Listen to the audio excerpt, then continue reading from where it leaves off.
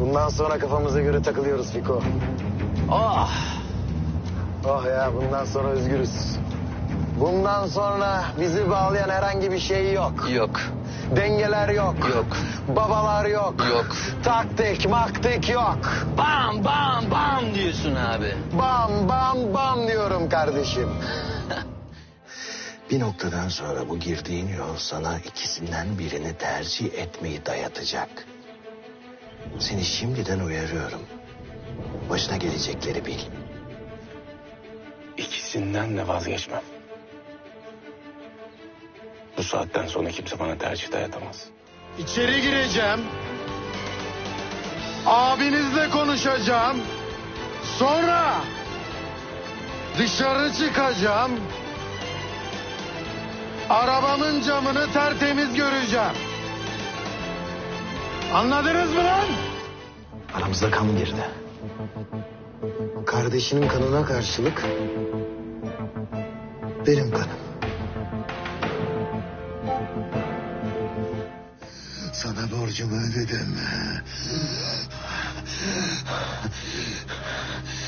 Şimdi sana hayatının fırsatını sunacağım.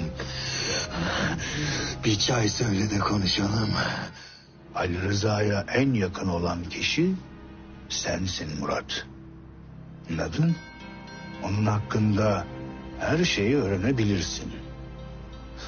Baba benden sevdiğim kadını kullanıp sana bilgi vermemi mi istiyorsun?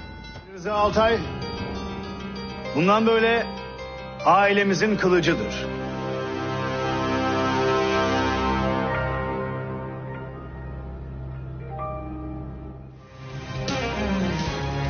Kadehlerimizi Ali Rıza Altay'ın şerefine kaldırıyorum. Endişelenecek bir şey yok halde. Ben değişmedim. Aynı Ali Rıza'yı. Bu geceden sonra her şey değişecek. Artık istesen de vazgeçemezsin. Benim vazgeçemeyeceğim sensin.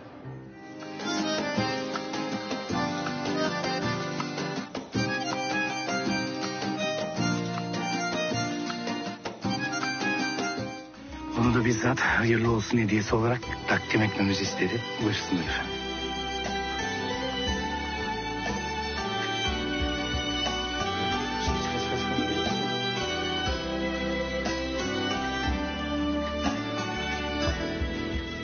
Dünya döndükçe bizim için vakit var demektir.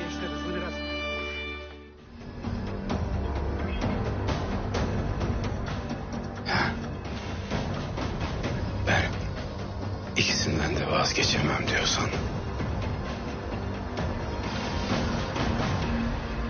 Ben senden geçerim.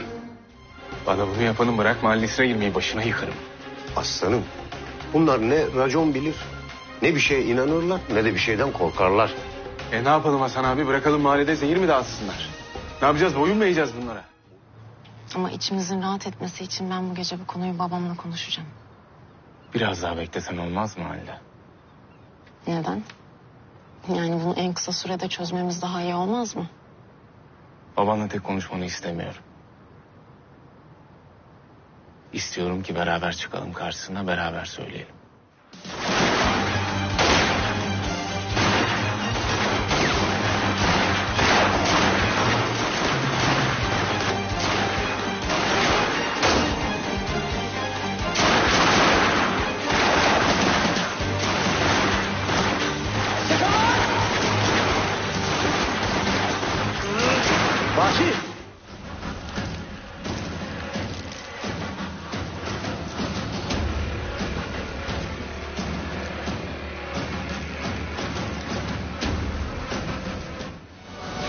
Sen kimin malını yakıyorsun lan?